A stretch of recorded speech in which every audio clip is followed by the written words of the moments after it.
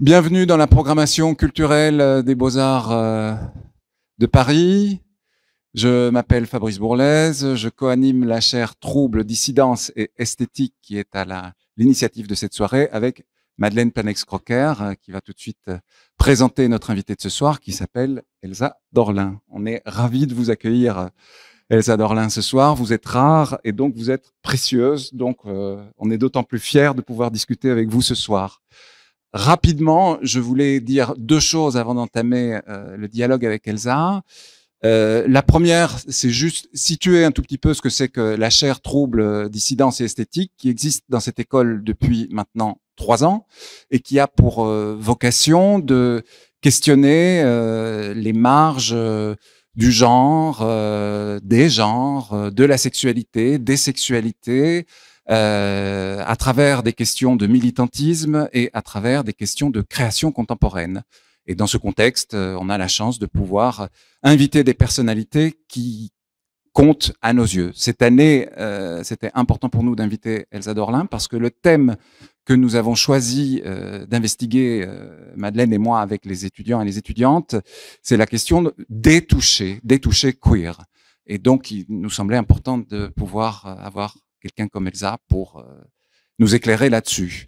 Euh, il y a un autre point de contextualisation que je voudrais faire. Euh, ce soir est une journée, la fin d'une journée un peu particulière puisque la France est en grève à cause de la réforme des retraites et nous avons une totale solidarité avec euh, le mouvement euh, national. Nous avons une totale solidarité aussi avec l'autre mouvement qui anime cette fois les écoles euh, d'art et d'architecture françaises qui sont elles aussi en colère contre les les difficultés qu'elles rencontrent dans leur fonctionnement au quotidien.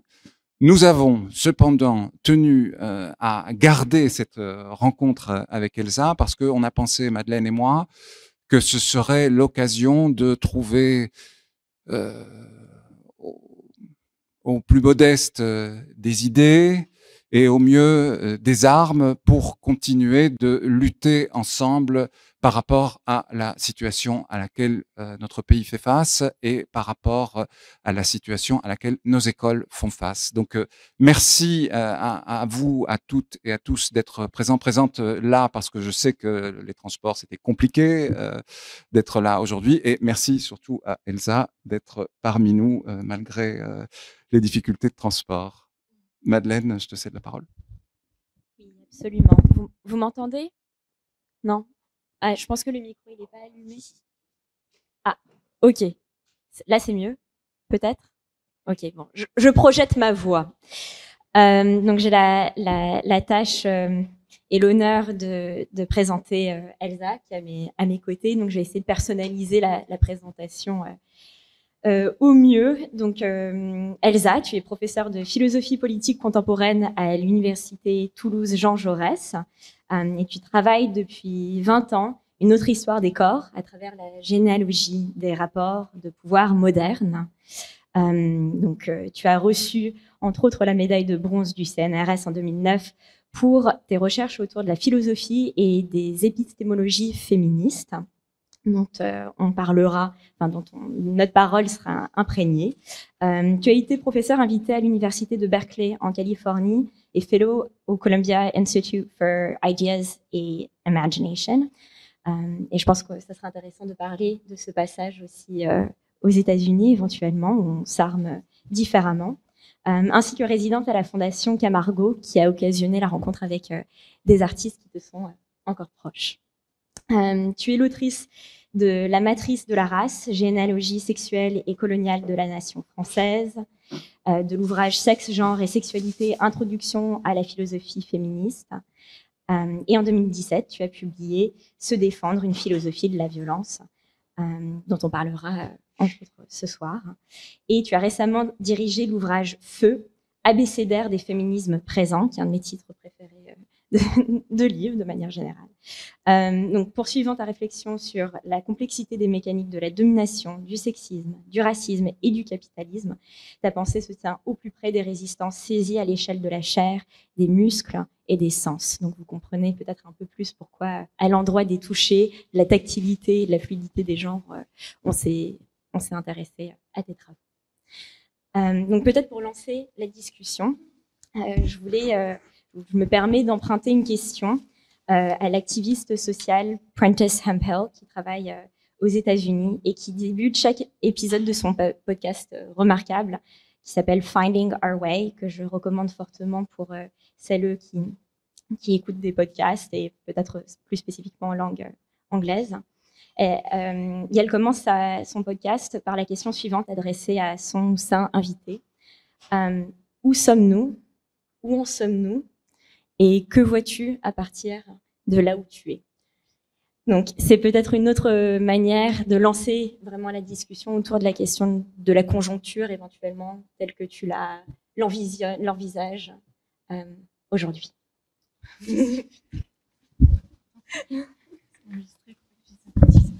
Euh, bonsoir, merci beaucoup. Je suis très contente d'être ici et merci pour votre invitation, c'est un plaisir. Euh, donc, si je suis ici ce soir, où, je suis, où suis-je? Qui suis-je? Euh, Que puis-je? Et tout ça. Euh, donc, en fait, euh, je ne sais pas comment prendre cette question, mais disons que d'abord, ça fait sens d'être là pour moi ce soir. Je suis en grève, en solidarité, et je pense que l'ensemble de ce mouvement s'inscrit, comme j'ai essayé, par ailleurs de le penser dans un processus euh, que j'avais nommé euh, nécro-libéralisme.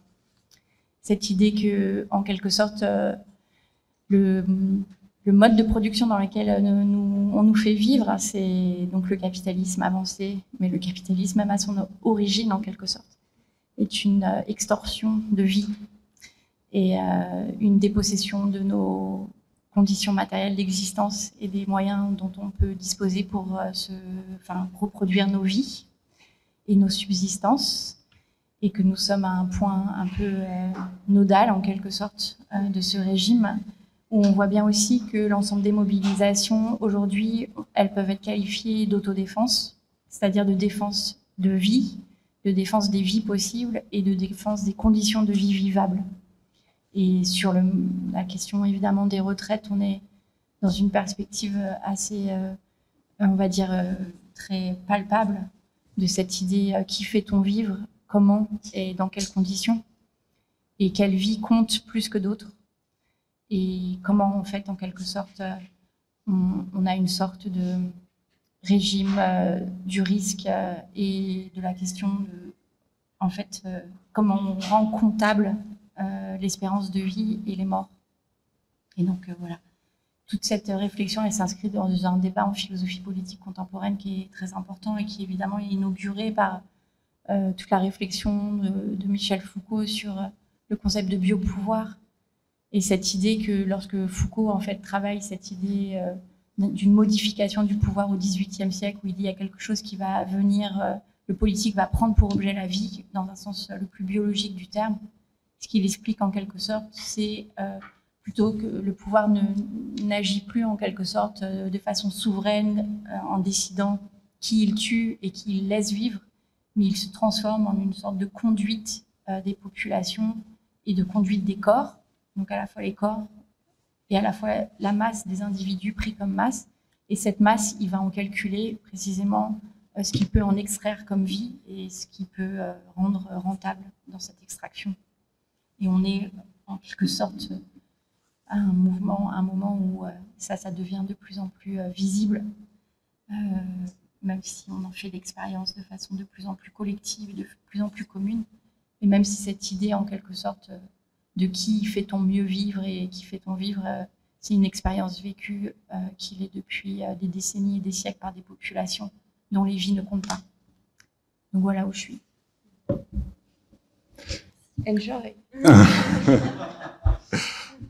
Avec Madeleine et, en accord avec Elsa, au vu des circonstances, euh, on aimerait vraiment que ce soit un dialogue pas à trois, mais à tous et toutes. Il y a des micros qui circulent dans, la salle, donc vous n'hésitez pas, dès que vous le sentez, dès que vous en avez envie, à, demander la parole et, à intervenir.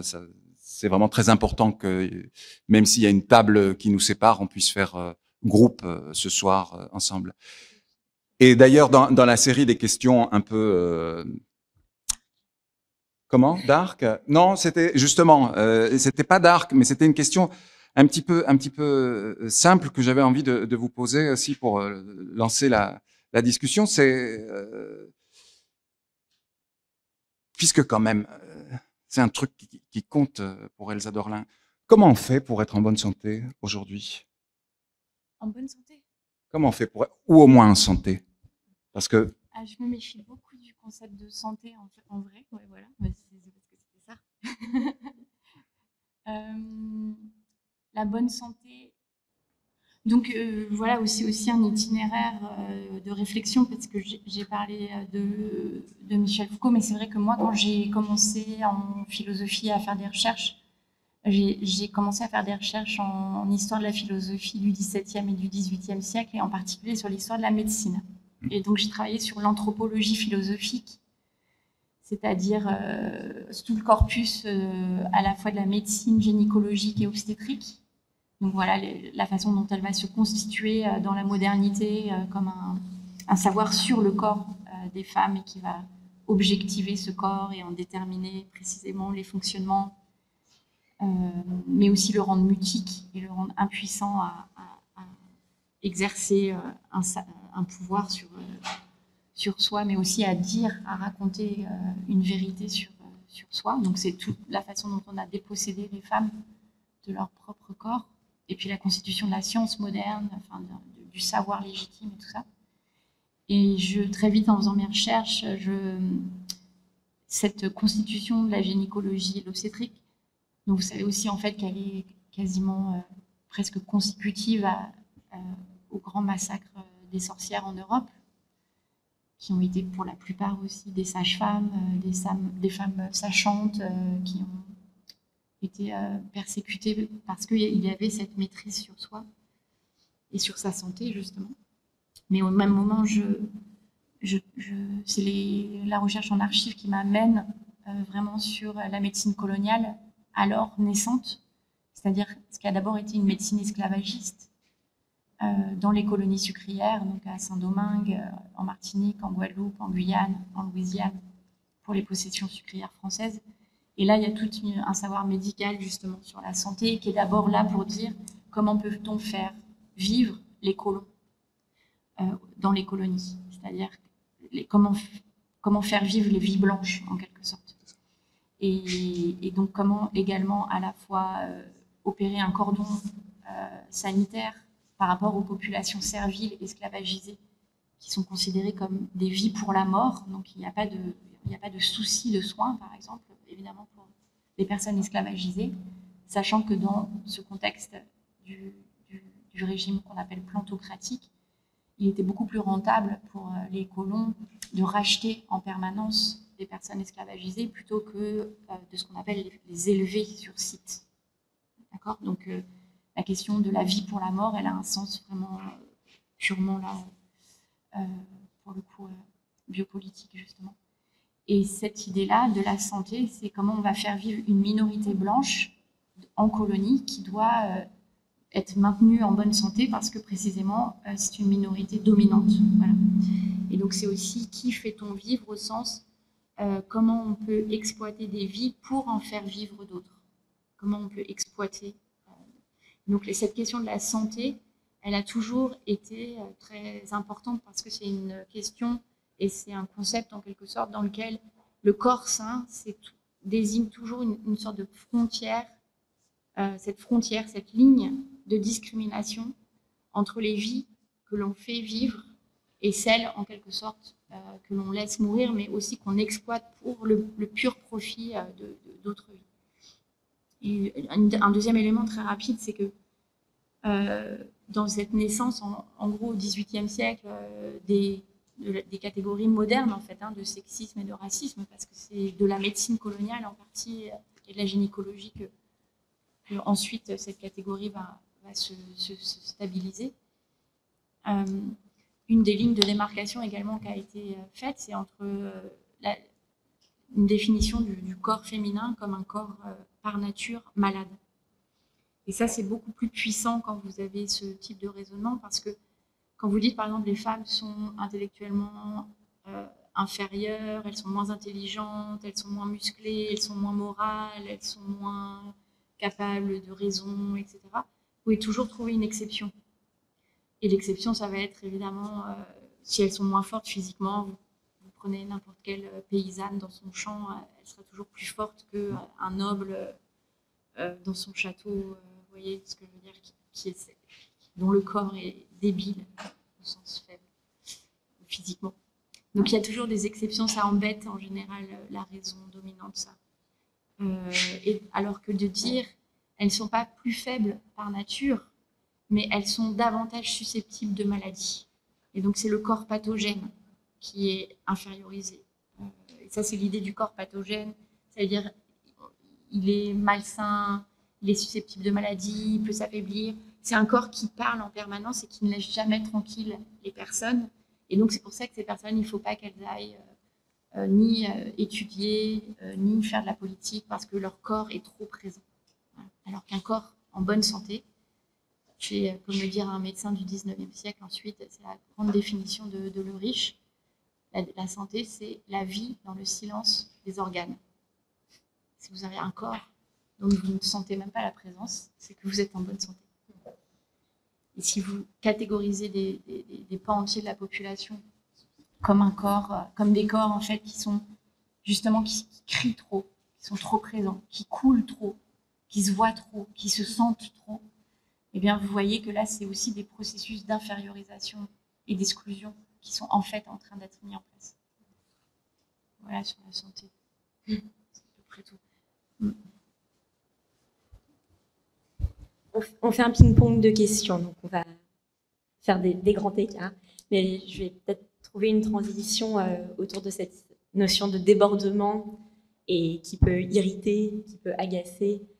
Euh, en cours, on a parlé récemment de Sarah Ahmed et de la figure des rabat-joie féministes, par exemple. Et euh, peut-être qu'on peut en arriver à la question des émotions, des émotions politiques et de l'infrastructure affective finalement qui euh, existe en dessous ou qui est maintenu en silence par rapport à des, dispositifs institutionnels euh, qui, gardent euh, leur pouvoir de domination. Et je voulais peut-être qu'on parle, qu'on évoque la question des affects, euh, tels que tu as pu les, aborder dans ton travail, et peut-être plus spécifiquement de ces affects voilà, qui, sont considérés en excès, en surplus. Il y a un moment, un passage dans dans Se défendre où tu parles, euh, entre autres, de la colère. Euh, mais je pense qu'il y a, d'autres de ces affects, euh, de, de l'irritation jusqu'à la frustration, en fait, qui viennent complexifier aussi ces émotions dynamiques. Oui, merci. Alors sur les affects, voilà, on peut partir de cette chose simple. C'est vrai que, en tout cas, dans tout un discours, notamment si on prend l'histoire du discours vraiment très construit hein, du sexisme, on va avoir cette opposition dans la modernité très binaire entre raison, émotion, homme, femme. Voilà, la modernité, c'est cette, euh, ce, cadre-là qui, génère, hein, qui vomit de la bicatégorisation. Quoi. C'est humanité, animalité, homme, femme, euh, nord, sud, centre, périphérie, raison, sentiment. Euh, concept, émotion, voilà. Voilà, exactement.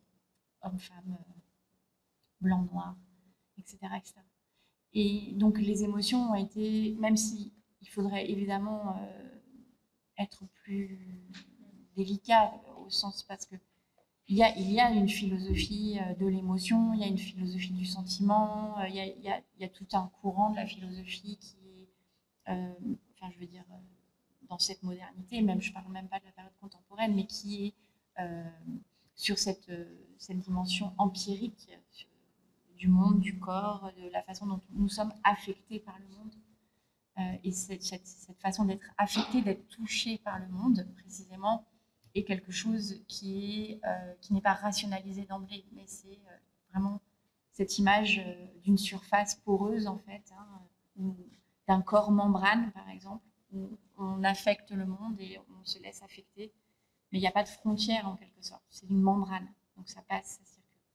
Donc on a quand même des outils, mais malgré tout, on va dire que si c'est trop, euh, vous voyez, ça ne va pas non plus. Donc il y a aussi, même dans les philosophies en quelque sorte, on va dire, pour caricaturer quelque peu, qui ont pensé l'affect, qui ont pensé euh, le sentiment, qui ont, voilà, qui ont développé quand même une, sorte d'ancrage comme ça euh, dans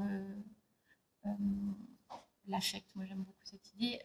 il ne faut pas que ça soit trop. Et donc il y a l'idée d'un juste milieu. Et cette idée du juste milieu, de l'équilibre, voilà, un corps en équilibre, euh, une des positions qui sont au milieu, qui sont justes, qui sont équilibrées, ça, ça définit la norme dominante de masculinité. C'est celle-là. D'ailleurs, elle ne se voit pas, celle-là. Hmm. Elle est invisible. C'est le juste milieu, c'est l'équilibre. Et cette norme de, de, masculinité qui est dans la bonne émotion, équilibrée, euh, eh bien, elle va avoir des figures repoussoires. Les femmes, les hystériques, mais aussi les masculinités monstrueuses, dans la colère, dans la sauvagerie, ou au contraire des masculinités qui ne tiennent pas assez, dans une forme de euh, performance émotionnelle de cette masculinité qui se tient, etc. Qui tape du poing sur la table comme un bon père de famille. Vous voyez? Ça, c'est de la bonne émotion. Donc, on a toujours cette idée, voilà, juste milieu, l'équilibre. D'ailleurs, c'est très aristotélicien. Euh, la morale aristotélicienne, c'est le juste milieu, mm. la vertu, la, vertu. Et la vertu, c'est aussi vire la masculinité. Donc le vertueux, c'est ça. Et par rapport à ces émotions, évidemment, il y a toute une tradition euh, des marges, en quelque sorte, ce qui est ramené à la marge du, du surplus d'émotions, et dont on a toujours tendance à dire que c'est explosif. C'est parce qu'il y en a trop, euh, c'est dû au fait que, en quelque sorte, euh, voilà, c'est une accumulation dans les marges d'émotions et à un moment donné, ça explose. Et donc, on peut avoir des formes de valorisation de ces politiques explosives.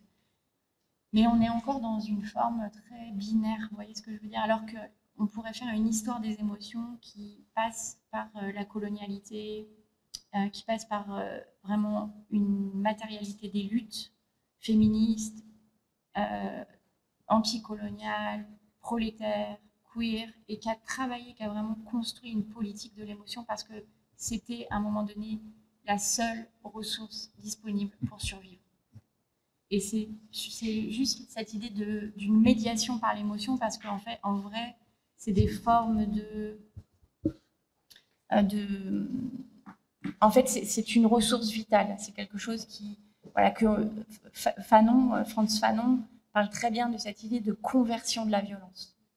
Le monde nous violente et en fait, nous sommes traversés par la violence. Nous sommes traversés par la haine, nous sommes traversés par la colère, nous sommes traversés par le mépris, nous sommes traversés par tout un flux en fait. Et cette idée, c'est l'idée que ça se convertit. on, on, le convertit en autre chose. On ne l'euphémise pas, on ne le traduit pas, cette idée de conversion chez Fanon, elle est très importante parce que c'est exactement comme dans la conversion euh, au sens euh, mystique du terme, c'est le corps qui se tourne mhm. vers quelque chose. Donc il y a quelque chose, vous voyez, c'est cette idée d'un mouvement presque euh, de conversion aussi. Et donc moi, j'ai beaucoup travaillé sur ces, ce corpus-là. Et c'est vrai que du côté de Fanon, mais en fait du côté de tout un corpus de féminisme afro-descendants et en particulier afro-caribéens, africains-américains. Et je pense à des autrices comme Audrey Lorde, Bell Hooks, mais aussi à une poétesse que j'adore qui s'appelle June Jordan. Euh, on a ce travail sur euh, cette idée de conversion de la rage. Voilà, euh, enfin, et là-dedans, on peut essayer de voir aussi, non pas de dire, là aussi c'est quelque chose de attention aux passions tristes, comme dirait Spinoza, celles qui nous affaiblissent, qui nous rendent moins puissantes et tout ça.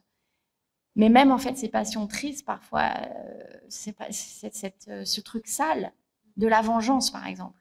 C'est extraordinaire. Moi, j'ai par exemple la vengeance. Je ne sais pas si on peut le qualifier comme une émotion, mais c'est un mouvement, la vengeance, quoi. C'est vraiment quelque chose qu'on. Bah, la vengeance, c'est extraordinaire quand même dans toute une culture politique. La vengeance, c'est la fierté. La, vengeance, c'est l'autodéfense. La vengeance, c'est faire irruption dans le monde. Et en fait, cette idée de vengeance, il y a quelque chose de très fort. C'est que la vengeance, euh, c'est ce sentiment qui fait qu'on n'est pas totalement annihilé comme sujet qu'on a encore cette dernière, ce dernier sursaut, ce mouvement où on dit il n'y a pas moyen, quoi. Je vais retourner le, coup. Ou plus jamais. Vous voyez, cette idée de là, euh, on, retrouve dans des slogans, y compris euh, au, moment de la Révolution française, cette idée, je parle beaucoup, mais il y a cette, idée euh, de, en fait, de n'en plus pouvoir, voilà, et de vouloir que ça se venger. Et ben, la vengeance, ça veut dire qu'il y a quelque chose comme un sujet, une subjectivité, un corps qui bouge encore et qui est, qui est en sursaut, qui est encore là.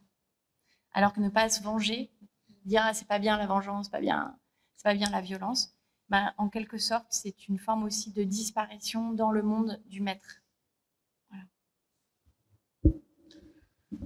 Oui, justement là-dessus, moi, c'est une question, j'aimerais vous entendre un, petit peu plus, euh, Elsa, là-dessus. C'est, euh, il y a d'un côté comme ça euh, cette, ce nécrolibéralisme redoutable qui, au fond, vient broyer des sujets, des vies, des corps, en fait. Et puis, cette espèce de grosse machine, on dirait qu'elle fonctionne avec une, stratégie extrêmement globale. Et comme on, travaille sur le, sur le toucher, comme on travaille sur les corps, et comme vous, Madeleine, vous posez la question de comment les, corps sont affectés, en fait, euh, quand, on, quand on pense au toucher, il y, y, y a, un mot qui, moi, me, vient à l'esprit, c'est celui de tactique, en fait, où il y a quand même ce mot de... Alors, c'est pas exactement la même étymologie, mais en même temps, dans tactique, il y a tact, et tact, ça renvoie au tactus, quoi. Et, et je me disais, est-ce que d'un côté, on peut faire cette est-ce que vous feriez cette distinction? C'est pas moi qui l'a fait, c'est De Certeau qui l'a fait entre la stratégie globale, nécro, nécrolibérale, qui met à mal les corps, qui, qui, met à mal les subjectivités, et puis ces tentatives de, résistance, mais un peu aussi dans ce que vous expliquez sur la vengeance. Moi, je trouve que c'est du, coup par coup. C'est-à-dire la, la, tactique, il n'y a pas de stratégie. Il y a des tactiques, c'est à chaque fois réinventé. C'est à chaque fois à retrouver les gestes qui vont faire qu'on va trouver la force de résister à nouveau. Est-ce que ça fait sens pour vous, cette opposition entre une stratégie plus globale, plus euh, énorme comme ça, mais, peut-être aussi plus langagière en quelque sorte et moi, moi, j'ai vraiment l'impression qu'il y a une stratégie, une grammaire du langage comme ça, et que toutes les tentatives, vous citiez euh, l'exemple de la poésie, mais effectivement, toutes les tentatives de faire œuvre aussi, c'est des tactiques de résistance. Moi, j'utilise beaucoup euh, la distinction de De Certeau, même dans, dans, justement sur, euh, dans se défendre, y, compris sur le syncrétisme, le syncrétisme de, de, martial, où on retrouve à partir des arts martiaux caribéens, ce qui est devenu une chorégraphie martiale, ce qu'on retrouve dans des danses, euh, des, formes chorégraphiques qui sont pas seulement une forme d'euphémisation de la violence, mais qui sont cette mémoire, cette, bibliothèque en fait euh, de, euh, des corps en résistance et en lutte. Et dans cette idée-là, en, travaillant sur une histoire des corps en régime plantocratique, il y a vraiment cette idée fondamentale qu'il y a une distinction que fait De Certeau entre stratégie et tactique. Et la façon dont De Certeau définit cette différence, dit la stratégie, on ne peut mettre en place des stratégies, en quelque sorte, que euh, si on a un lieu propre. Hmm. Et le lieu propre, c'est-à-dire si on a un espace à soi, une chambre à soi, un lieu propre, voyez, en sens vraiment euh, topographique. Ça veut dire si on n'est pas chez, dans le monde du maître. Et la stratégie, pourquoi c'est important d'avoir un lieu propre? Parce que dans ce lieu propre, on capitalise du temps. On a du temps pour soi. Et c'est du temps où on réfléchit, où on fomente des plans, où on s'entraîne, où on parle, où on s'organise et où on construit quelque chose qui est de l'ordre d'un mouvement commun, d'un cœur politique qui ensuite peut s'élancer. Donc c'est très important cette idée de stratégie, mais c'est des espaces-temps. Et en fait, on capitalise du temps dans un lieu propre, un lieu à soi. La, tactique, vous êtes dans l'espace-temps du maître. Et donc, vous venez braconner des choses. Vous braconnez de la ressource. Vous volez du temps. Vous volez votre propre corps qui est la propriété du maître. Donc, rien que des formes de réappropriation d'un geste sont déjà euh, une forme, vous voyez, on se vole soi-même. Et ça, c'est une tactique de résistance. Mais on n'a pas de lieu à soi. Donc, on est dans une temporalité où on va avoir beaucoup plus cette idée, non pas tellement de réaction, mais on va avoir cette idée de ruse, cette idée de raison euh, métisse, la, métisse grecque, la ruse, euh, où il y a ces corps rusés. Donc, ça veut dire des langages avec un sous-texte. Il y a toujours deux textes. Des mots qui veulent dire autre chose. Des langues créoles qui ne se font pas comprendre. Euh, des, gestes qui ont l'air anodins, qui en fait sont des signaux. Euh, des armes qui sont que des armes par destination, une fourchette. Vous voyez ce que je veux hmm. dire? C'est ça la tactique. Hmm. Se rendre en fait rusé, se rendre euh, incompréhensible et inidentifiable, voilà, au regard du maître ou aux yeux de la caméra de surveillance. De, de Certeau dit carrément, c'est l'art du pauvre en fait. Et, évidemment, c'est euh, complètement lorsqu'on n'a pas le choix, parce qu'on n'a pas suffisamment de ressources pour avoir un, lieu euh, à soi. Et on voit aussi très bien comment, euh, je pense dans la période contemporaine, vous voyez bien que toute cette, cette idée qui est liée vraiment à l'analyse des rapports de pouvoir en régime plantocratique, on va la retrouver, cette idée aussi de combien euh, la question du marronnage, par exemple, elle est fondamentale. Les esclaves, les personnes esclavagisées qui partent en marronnage, ça veut dire qu'elles quittent justement cet espace-temps de la tactique pour aller créer des lieux propres dans les mornes, c'est-à-dire au centre des îles, là où la végétation est très importante, où le relief est important pour aller se cacher et fonder des, des lieux. Et les marrons, les esclaves marrons, sont passés de la tactique à la stratégie. Et le marronnage, c'est quitter, en quelque sorte, cet espace-temps. Et on va, vous allez le retrouver dans quelque chose de très fort chez Monique Wittig. La question euh, du séparatisme lesbien, c'est, elle le réfère au marronnage. C'est cette idée d'aller, on sort euh, du système hétéro-patriarcal, on sort, on se lève, on se casse. Hmm. C'est ça. Et donc, c'est aussi des formes de soins de soi et des soins politiques. Parce que quand on est dans la tactique, on, est dans une forme d'épuisement permanent. On est dans, une, dans un éveil, dans un qui-vive. Le corps est sur le qui-vive. C'est la proie qui essaye de s'en sortir. Et c'est très, très fort. Quand on est dans un espace propre, on peut dormir un peu. Et rien que ça, c'est énorme. Mais on va le retrouver aussi dans des, euh, des stratégies euh, euh, contemporaines qui sont euh, typiquement sur l'occupation d'espace, sur les ZAD, sur les occupations de lieux, c'est-à-dire l'idée de, faire du lieu du maître un corps propre au mouvement. Et ça, c'est l'occupation. Donc on voit bien les enjeux qu'il y a là en termes de vie, mais aussi en termes de soins. Pas de, santé, mais de soins. De soins, bien sûr. Je rebondis de nouveau.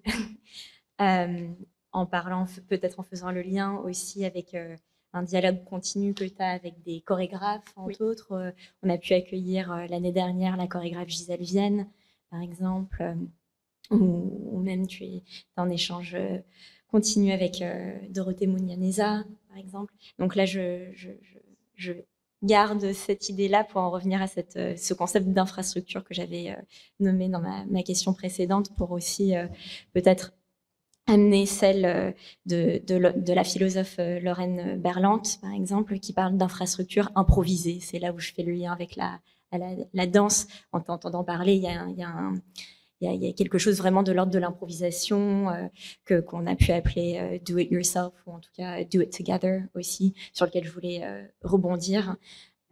Et peut-être aussi pour faire le lien avec la, la, prochaine question, qui est celle de la notion de la négociation en fait avec cette notion de sécurité quand on se retrouve entre soi ou avec, euh, en tout cas, euh, celle avec qui on a envie de se retrouver. Comment est-ce qu'on négocie en fait euh, cette, cette notion de, de safety qu'on retrouve entre autres dans le concept de safe place qui est déjà en train d'être, enfin depuis un certain temps, être problématisé aussi et auquel je pense que se défendre, entre autres, contribue vraiment à, à, ce, à cette remise en question mmh. presque de manière aidante. Et du coup, oui, et sur la sécurité. Du... Et sur la sécurité, oui. Mais sinon, ouais. Si on, en fait, je faisais une transition entre infrastructure, l'improvisation, et puis essayer de, de venir aussi, euh, comment est-ce qu'on improvise aussi avec cette volonté de se retrouver euh, dans un espace de protection aussi, mais qui n'est pas garanti, qui n'est pas du tout. Euh, oui, oui, oui, ouais. Et sur le, le lieu propre, ouais, voilà. Mais une fois qu'on a un lieu propre, effectivement, c'est pas ensuite il y a d'autres problèmes qui se posent. Euh, c'est toute la question. Bah, c'est toute la question d'ailleurs qui va être opposée, opposée dans un dialogue euh, admiratif euh, et évidemment un dialogue qui n'a jamais eu lieu vraiment, mais entre Judith Butler et Monique Wittig. C'est-à-dire que cette question que, enfin, c'est la lecture de Butler, euh, de, de Wittig dans Trouble dans le genre. C'est aussi sur cette question du séparatisme. Et finalement, Butler, elle s'adresse à Wittig et euh, elle, elle dit oui, mais en fait, euh, même séparé, en quelque sorte, on ne peut pas sortir des rapports de pouvoir. Il n'y a pas un en dehors du pouvoir. Il n'y a pas de. Donc, voilà, c'est là aussi une position très foucaldienne hein, chez Butler. Euh, le pouvoir, c'est une relation, c'est des relations. Et le pouvoir, c'est pas quelque chose, pas un objet.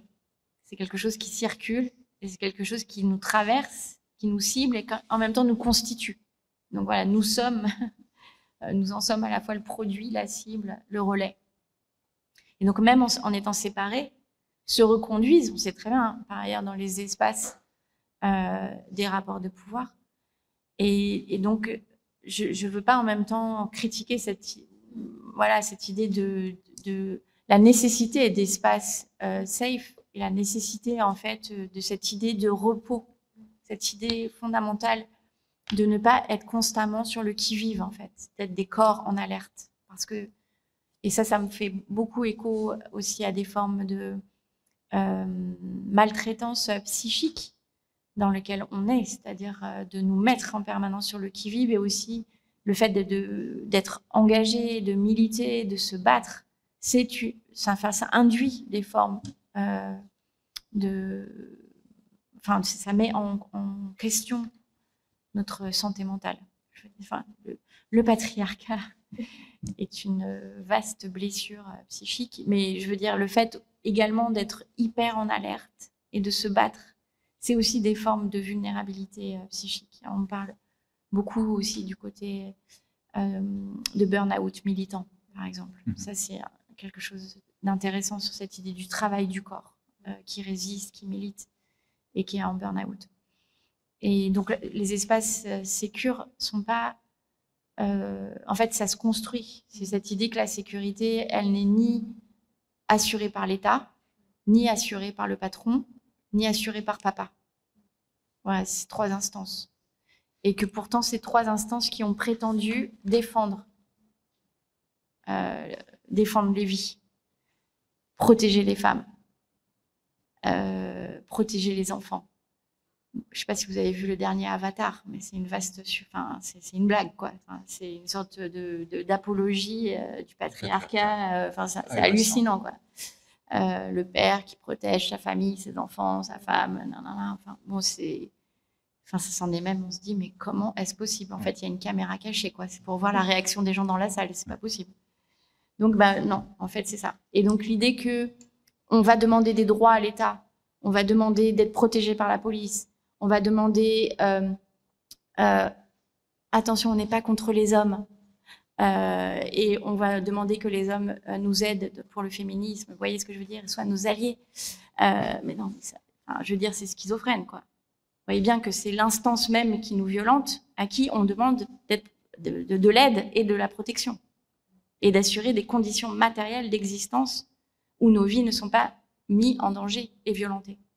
Donc il y, y, a quelque chose qui est de l'ordre en fait d'une distorsion.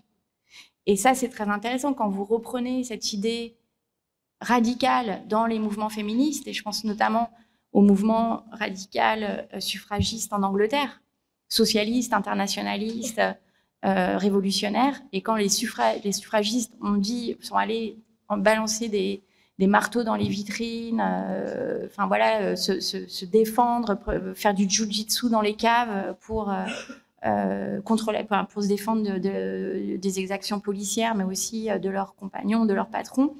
En fait, elles ont dit euh, on ne demandera rien à l'État puisque c'est cet État qui entretient nos conditions de vulnérabilité et d'exposition à la violence. Vous voyez ce que ça veut dire? Où est-on en sécurité? On voit bien que pendant très longtemps, en quelque sorte, euh, l'espace le plus sécurisé, enfin le plus sécure, pour parler comme ça, c'était le foyer. C'était euh, l'espace domestique. Et pendant très longtemps, on a cru que là où on était le plus exposé à la violence, c'était dans les, parkings le soir euh, à la tombée de la nuit. Alors ça ne veut pas dire qu'il n'arrive rien dans les parkings le soir à la tombée de la nuit. Ça veut juste dire que c'est pas là où se joue précisément euh, ce dispositif de la violence licite euh, qui fait que, pour une part, nous sommes construites, en l'occurrence, comme des corps violentables. Et donc c'est cette idée qui a non seulement des conditions, vous voyez, matérielles de, sécurisation des espaces. Et ça, c'est un travail, c'est un travail militant, c'est un travail de, je veux dire, c'est matériel. On doit s'entendre. Comment on fait concrètement? Quel dispositif on trouve? Comment on fait pour régler euh, les conflits? Comment on travaille la violence intracommunautaire, etc. Mais après, plus largement, le cadre, c'est qu'il y a une idéologie euh, qui et une idéologie au sens vraiment premier du terme, c'est-à-dire que les idées de la classe dominante ont été imposées comme les idées communément partagées. Et la classe dominante, c'est-à-dire le foyer bourgeois où euh, tout se passe très bien, papa, maman, les enfants, le chien, euh, etc. Ou peut-être pas le chien, mais peut-être d'autres choses. Euh, et c'est un espace où on dit le privé, c'est ah je suis je suis chez moi, je suis tranquille, il ne pourra rien m'arriver. Ça veut dire que le corps même, quand il rentre chez lui, le corps, petit corps qui rentre chez lui, il ferme la porte et il dit ah ouf, je suis arrivé. Et ben en général, c'est là où aujourd'hui, tous les trois jours, euh, mmh. une femme meurt euh, en étant étranglée, jetée par la fenêtre ou découpée en morceaux, voilà, comme la semaine dernière.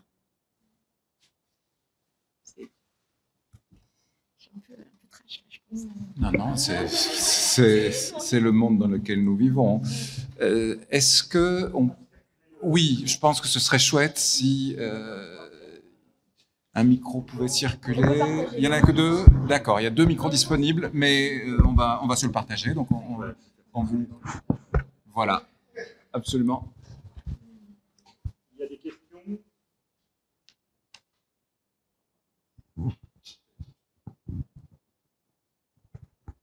Merci. Euh, je voulais vous demander euh, comment vous vous positionnez euh, par rapport à la pensée écoféministe?